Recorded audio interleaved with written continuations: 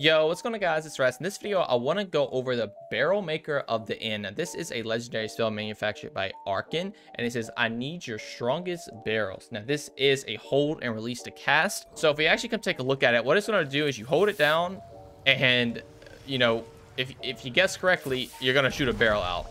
Really, really funny. Uh, obviously, uh, barrels are a huge thing in Borderlands, but it just does a huge chunk of damage, like almost 2500 damage which is insane.